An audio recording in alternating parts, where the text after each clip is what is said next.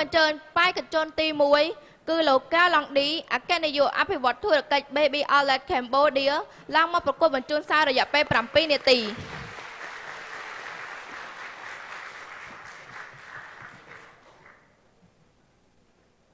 ជាបន្តសូមបេក្ខជននិងគណៈកម្មការវាតម្លៃត្រៀមបាទអញ្ចឹងជាបឋមបាទខ្ញុំបាទសូមថ្លែងអំណរគុណបាទចំពោះបងរដ្ឋាដែលបានរៀបចំកម្មវិធីដ៏មានសារៈសំខាន់នេះឡើង ហើយសូមគោរពចំពោះគណៈកម្មការវាតម្លៃបាទដែលមានវត្តមានទីនេះហើយជាពិសេសគឺលោកលោកស្រីបាទអ្នកនាងកញ្ញាទាំងអស់ដែលមានវត្តមានទីនេះផងដែរបាទខ្ញុំបាទឈ្មោះកៅឡុងឌីជាអគ្គនាយកធុរកិច្ចនៃក្រុមហ៊ុន Baby Outlet បាទប្រធានបទនេះគឺយើងទៅចែកអំពីតើក្រុមគ្រួសារនីមួយៗគួរបង្កើតបរិយាកាសបែបណាដើម្បីឲ្យមនុស្សម្នាក់ម្នាក់អាចខ្លាយទៅជាអ្នកដឹកនាំបានអញ្ចឹងបើយើងមើលប្រធានបទនេះឡើងវិញយើងឃើញមានចំណុច2ពាក្យខ្លឹមខ្លឹម2ដែលយើងគួរមកពិចារណាទី1គឺពាក្យអ្នកដឹកនាំទី2គឺពាក្យក្រុមគ្រួសារ តើក្រុមគ្រួសារជាមួយនឹងភាពជាអ្នកដឹកនាំឬក៏ជាអ្នកដឹកនាំនោះវាមានតំណែងតំណងគ្នាយ៉ាងណាបើតាមខ្ញុំដឹងគឺមានការស្រាវជ្រាវជាច្រើននៅប្រចាំប្រទេសបាទហើយនៅក្នុងនោះគឺមានអ្នកស្រាវជ្រាវម្នាក់គាត់ឈ្មោះអានគាត់បានស្វែងរកឃើញថាជាទូទៅគឺវាមានភាពពាក់ព័ន្ធគ្នាច្រើនបំផុតរវាងការដឹកនាំរបស់មនុស្សម្នាក់ទៅនឹងជីវិតរបស់មនុស្សម្នាក់នោះនៅពេលដែលគាត់នៅក្មេងពីព្រោះអីគឺគាត់ទទួលបានឥទ្ធិពលពីក្រុមគ្រួសាររបស់គាត់ពីមនុស្សជុំវិញខ្លួនរបស់គាត់ជាច្រើន អញ្ចឹងសួរថាតើវាមានសារៈសំខាន់ប៉ុណ្ណាមួយទៀតផងដែរតកតងជាមួយនឹងការដឹកនាំជាទូទៅខ្ញុំជឿជាក់ថាអ្នកដឹកនាំគ្រប់ប្រភេទទាំងស្ថាប័នរដ្ឋទាំងឯកជនទាំងគ្រប់ប្រភេទទាំងអស់ដឹកនាំខ្លួនឯងដឹកនាំក្រុមតូចក្រុមធំគឺមានគោលដៅតែមួយទេគឺសម្រាប់គោលការណ៍ឲ្យបានគោលដៅឲ្យបានជាមួយនឹងធ្វើការជាមួយនឹងមនុស្សដទៃប៉ុន្តែអ្វីទៅដែលធ្វើឲ្យមនុស្សទាំងអស់នោះខុសគ្នាគឺពឹងលើផ្អែកទៅលើ E ទាំង3ដែលខ្ញុំថាទី1ដែលយើងហៅថាគឺ environment បរិយាកាសដែលគាត់រស់នៅទី2គឺ experience បទពិសោធន៍ជីវិតដែលគាត់ឆ្លងកាត់ ទី3គឺ education ដែលគាត់បានចូលរៀនទាំង3ហ្នឹងបូកចូលគ្នាធ្វើឲ្យគាត់ទៅជាគាត់ដែលមានសភៅមួយបាននិយាយអំពី why you are the way you are បាទទៅសេដោយលោក Kevin មួយទៀតផងដែរអឺពាក្យនេះវាស្របជាមួយនឹងអ្វីដែលលោកស្រី Hillary Clinton បានលើកកាលពីប្រហែលឆ្នាំមុន it take a village to raise a child បាទបានន័យថាដើម្បីចិញ្ចឹមកូនម្នាក់គឺត្រូវការមនុស្សមួយភូមិនៃនេះបានន័យថាគឺជួយចំណែក ទាំងបទពិសោធន៍ជីវិតទាំងអ្វីៗគ្រប់បែបយ៉ាងដើម្បីឲ្យក្មេងទាំងអស់នោះគឺគាត់ទទួលបានរសជាតិនៃជីវិតផ្សេងផ្សេងគ្នាទាំងអស់អញ្ចឹងយើងងាកត្រឡប់មកប្រធានបទរបស់យើងវិញតើក្នុងនាមគ្រួសារឪពុកម្ដាយកូនតើយើងគួរតែធ្វើយ៉ាងណា ដើម្បីឲ្យមនុស្សម្នាក់ខ្លាយទៅជាអ្នកដឹកនាំបានអាចនិយាយបានថាកូនក្នុងបន្ទុករបស់យើងឬក៏សមាជិកគ្រួសារយើងដទៃទៀតនោះឲ្យគាត់ខ្លាយទៅជាសមាទៅជាអ្នកដឹកនាំអញ្ចឹងមុនពេលដែលចូលដល់ចំណុចបង្កើតបរិយាកាសបើតាមការស្រាវជ្រាវបានន័យថា គ្រាន់តែយើងជាកូននៅក្នុងគ្រួសារកូនទីប្រមាណហ្នឹងគឺវាពាក់ព័ន្ធជាមួយនឹងការដឹកនាំរបស់យើងបាត់ទៅហើយយើងកូនទី1ក្នុងគ្រួសារកូនទី2កូនតូលកូនពៅឬក៏កូនកំព្រាឪពុកកូនកំព្រាម្ដាយឬក៏កូនកំព្រាទាំងឪពុកទាំងម្ដាយឬក៏កូនដែលជួបបញ្ហាវិបត្តិផ្លូវចិត្តនៅពេលគាត់នៅក្មេងគឺទាំងអស់ហ្នឹងគឺមានការចូលរួមចំណែកធ្វើឲ្យគាត់ទៅជាអ្នកដឹកនាំម្នាក់បាត់ទៅហើយចុះទម្រាំតែបរិយាកាសទៀតអញ្ចឹងយើងខ្ញុំចំណុចនេះខ្ញុំចង់បញ្ជាក់ថាក្រុមគ្រួសារគឺដើរតួសំខាន់នៅក្នុងការបង្កើត បរិយាកាសក៏ដូចជាបង្កើតលក្ខខណ្ឌអំណោយផលដើម្បីឲ្យកូនម្នាក់ម្នាក់ក្លាយទៅជាអ្នកដឹកនាំក្នុងគ្រួសារបើយើងនិយាយពីគ្រួសារយើងនឹកឃើញឪពុកម្ដាយយើងនឹកឃើញកូនយើងនឹកឃើញជីដូនជីតាបាទយើងនិយាយពី nuclear family បើយើងនិយាយពី extended extended family វិញគឺយើងរាប់ទាំងជីដូនមួយចទួតមួយបាទញាតិការទាំងពីរសន្តានរបស់យើងទៀតក៏មានដែរអញ្ចឹងនៅក្នុងគ្រួសារសួរថាតើគាត់ត្រូវធ្វើអីខ្ញុំមិនអាចចំណាយពេលតែ3នាទីដែលខ្ញុំនៅសល់នេះនិយាយថាតើម្នាក់ម្នាក់នៅក្នុងគ្រួសារត្រូវធ្វើអីទេប៉ុន្តែអ្វីដែលគាត់ត្រូវធ្វើគឺ បង្កើតបរិយាកាសអំណោយផល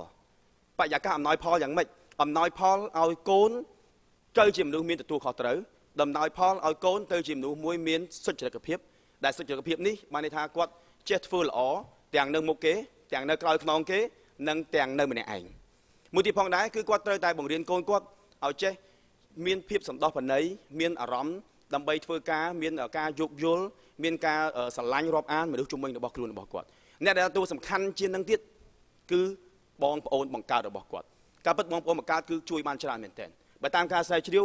គឺបងប្អូនបង្កើតគឺជាមនុស្សដែលធ្វើឲ្យមនុស្សម្នាក់មានទទួលបានអារម្មណ៍ស្មើភាពគ្នាក្នុងនាមជាកូនយើងតែងតែពិសេសរហូតចង់បានអ្វីដែលពិសេសរហូតតែនៅពេលដែលយើងមានបងមានប្អូនយើងចាប់ដើមដឹងខ្លួនថាយើងត្រូវការមានភាពស្មើគ្នាយើងត្រូវការចែកគ្នាត្រូវការដដើមគ្នាយើងត្រូវការបើដដើមមិនតាន់អាចអត់អីញ៉ាំអីចឹងដែរអញ្ចឹងបានន័យថា វាវាបង្រៀនបទពិសោធន៍ជីវិតឲ្យក្មេងហ្នឹងគឺគាត់ចាប់ដើមយល់អំពីទាំងអស់ហ្នឹងហើយទាំងអស់ហ្នឹងគឺជាអ្វីទាំងអស់នោះគឺជាបទពិសោធន៍ជីវិតអ្វីដែលឪពុកម្ដាយអ្វីដែលកូនបងប្អូនបង្កើតមនុស្សជុំវិញខ្លួនគាត់ផ្ដល់ឲ្យគាត់នោះគឺជាបទពិសោធន៍ជីវិតដែលយើងអាចនិយាយឲ្យខ្លីគឺជា soft skill ហើយបើតាម research របស់ Harvard University បាទគឺបានបញ្ជាក់យ៉ាងច្បាស់ថា85%នៃមនុស្សជោគជ័យគឺទាមទារ soft skill 85 85%នៃមនុស្សជោគជ័យគឺមាន soft skill នៅក្នុងនោះ 15%គឺមាន hard skill hard skill គឺជាអ្វីដែលគាត់ទៅរៀននៅសាលាដើម្បីទទួលបានចំណេះជំនាញពិតប្រាកដលក្ខណៈជាវិទ្យាសាស្ត្រដែលมันអាចប្រែក្លាយបាន បាទអញ្ចឹងអឺសរុបមកវិញខ្ញុំចង់បញ្ជាក់ថាតើគ្រួសារគឺគាត់មានសារៈសំខាន់ប៉ុណ្ណាគឺគាត់មានសារៈសំខាន់បំផុតដើម្បីបង្កើត soft skill ទាំងអស់ហ្នឹងដែល soft skill ទាំងអស់ហ្នឹងគឺអ្នកដឹកនាំណាក៏មិនអាចខ្វះបានដែរហើយក៏មិនអាចដឹកនាំដោយគ្មាន soft skill បានដែរហើយអឺប៉ុន្តែជាសរុបចុងក្រោយខ្ញុំចង់បញ្ជាក់ថាទោះបីជា យើងកើតនៅក្នុងក្រុមគ្រួសារមួយដែលមានលក្ខណៈល្អមានឪពុកមានម្ដាយមានបងមានប្អូនដែលគាត់តែងតែជួយលើកទឹកចិត្តយើងគាត់បង្កលក្ខណៈល្អៗដូចខ្ញុំបានជំរាបជូនខាងលើក៏ដោយអ្វីដែលធ្វើឲ្យយើងคลายទៅជាអ្នកដឹកនាំអ្វីដែលធ្វើឲ្យយើងជៀសអាចជៀសផុតពីមេដឹកនាំដែលអាក្រក់ជាមេដឹកនាំដែលមិនល្អជាមេដឹកនាំដែលធ្វើឲ្យគេឈឺចាប់នោះគឺខ្លួនយើងផ្ទាល់គឺនៅមានតែសំណួរតែមួយមួយគត់